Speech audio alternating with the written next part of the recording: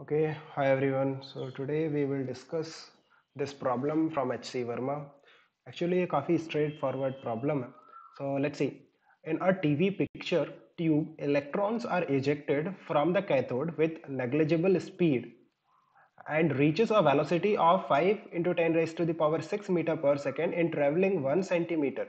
Assuming straight line motion find the constant force exerted on the electron. The mass of the electron is also given that is 9.1 into 10 raised to the power minus 31 kilogram so so, पहले देख लेते हैं क्या क्या information आपको दिया हुआ है कि इनिशियल स्पीड की अगर मैं बात करूँ तो वो नेग्लिजिबल स्पीड से इजेक्ट होते हैं इसका मतलब initial velocity you can take approximately equal to zero the final velocity is given to be 5 into 10 raised to the power 6 meter per second and the distance they traveled is 1 centimeter so s is also given that is 1 centimeter or you can write in SI unit 10 raised to the power minus 2 meter assuming straight line motion constant force nikalna hai so force is also a constant right force is equal to mass into acceleration so acceleration constant hoga uh, find the constant force uh, mass of the electron is also given so ye mass bhi de rakha hai so so, अभी देखो आपको मास दे रखा है force के लिए और acceleration की value निकालना है अगर कॉन्स्टेंट एक्सेलरेशन है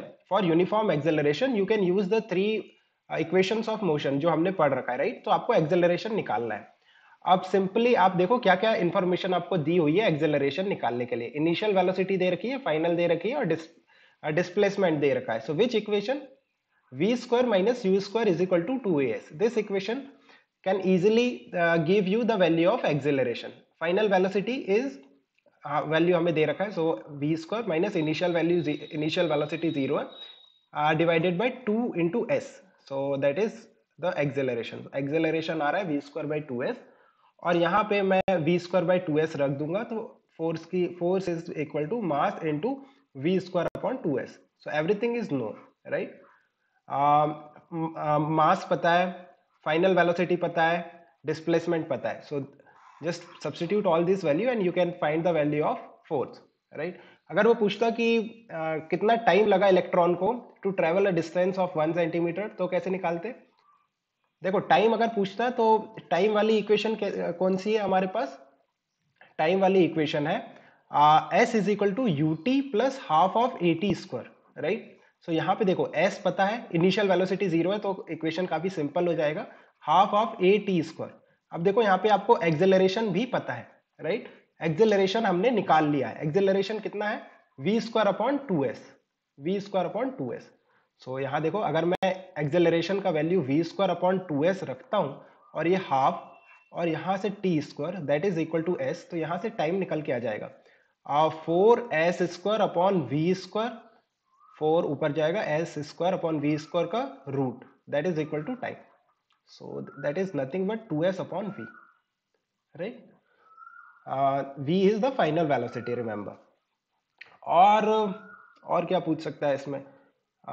एवरेज uh, वेलोसिटी पूछ लेगा। So total distance upon total time total distance कितना है? एस अपॉन टोटल टाइम कितना लिया? है टाइम हमने ये निकाल लिया right so that is two S upon V so V ऊपर चला जाएगा। सो so, देखो कितना आ रहा है? V बाई टू राइट और अगर आप देखो तो that is nothing plus U plus V by two आ रहा है फॉर कॉन्स्टेंट एक्सेलरेशन हम निकालते हैं तो अगर इनिशियल वेलोसिटी ज़ीरो है तो वी बाई टू और uh, ये कैसे निकाला मैंने? Total distance upon total time that is average velocity right और फॉर कॉन्स्टेंट एक्सेलरेशन जो मीन वाला वेलोसिटी है वही आपका एवरेज वेलोसिटी होता है.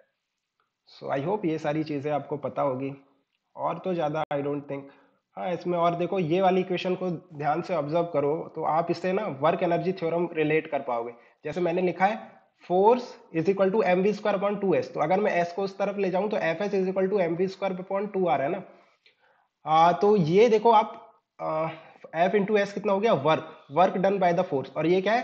काइनेटिक एनर्जी सो एक्चुअली में यहाँ पे u ज़ीरो था। अगर u भी कंसीडर करते हैं हम जैसे फ़र्स्ट वाली इक्वेशन में V square minus U square था ना सो एक्चुअली में यहाँ था F S is equal to M V square minus U square upon two और ये आता कि initial final kinetic energy minus initial kinetic energy that is equal to work done right so work done by the forces that should be equal to change in kinetic energy so अच्छा उसके बारे में बाद में बात करेंगे, है ना? अभी फॉर द टाइम बिंग जो हमने बात करी है एक्सेलरेशन टाइम एवरेज वेलोसिटी ये सारी चीज़ों के बारे में you should be you know conceptually strong fine if you have any further confusion और want to discuss anything we can discuss in the Telegram group you will get the link in the description keep working hard guys bye best of luck